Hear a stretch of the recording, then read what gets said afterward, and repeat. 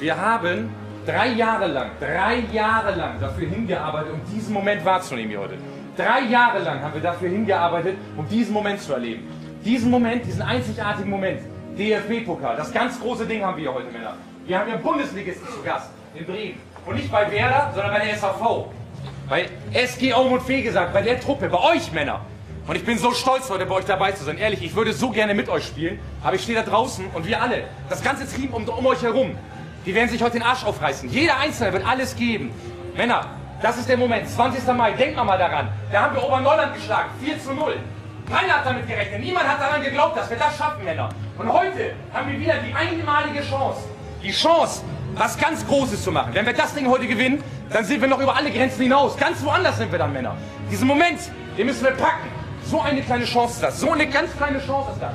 Eine Minimalchance. Aber es ist eine Chance, Männer. Und die greifen wir uns heute greifen wir uns heute mit aller Kraft, in der wir sind. Mit allen. Wir haben dafür gearbeitet, sechs Wochen lang. Sieben Tage die Woche. Ihr arbeitet nicht so wie die da drüben.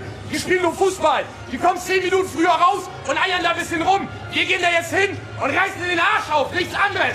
Wir sind eins!